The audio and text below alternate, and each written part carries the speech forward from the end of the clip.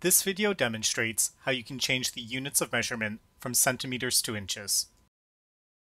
This is useful when you must create tab stops at precise increments that are defined in inches.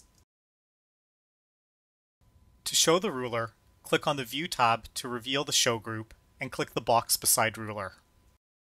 The ruler appears in centimeters. Click on File, then Options.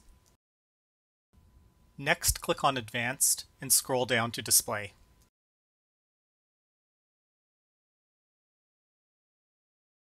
Click on the arrow beside centimeters and change the selection to inches.